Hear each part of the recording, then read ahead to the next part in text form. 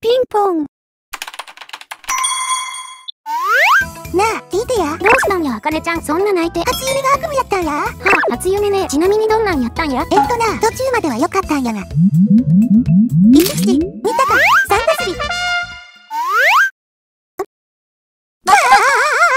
てな感じでゆかりの顔したバクに夢を食われるという。悪夢すぎるね。クソ、誰のせいや。多分あいつのせいやな。チース。何話してるんですか？いや、初夢何見たか話してたんやけど、ゆかり先生はどんな初夢見たんや？私は見なかったですね。ああ、夢を見ないほど爆睡しちゃったんか。いや、寝る前に自分の夢を生贄にして他人の夢に爆を出現させるという儀式を行ったので、やっぱり犯人はお前か。あかりは初夢どんなんやったうちかうちはなんか食べ過ぎで、ぷくぷく太って取り返しがつかなくなる夢見たわ。ははは、予知夢で草。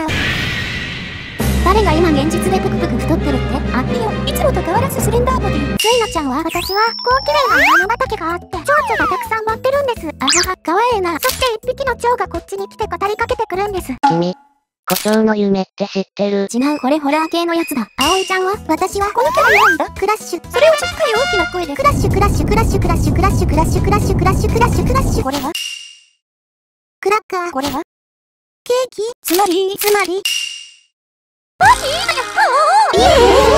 ていう夢でした。大丈夫？疲れてるてへへ、友達とパーティーとかしたことなくて。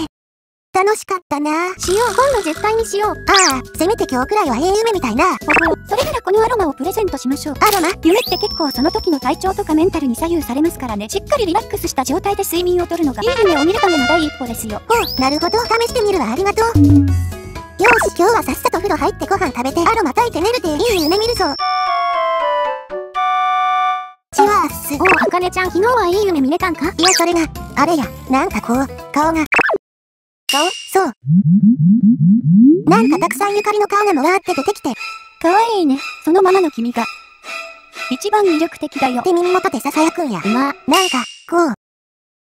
よかったわ。あかねちゃんがいけない扉を開きかけてる気がする。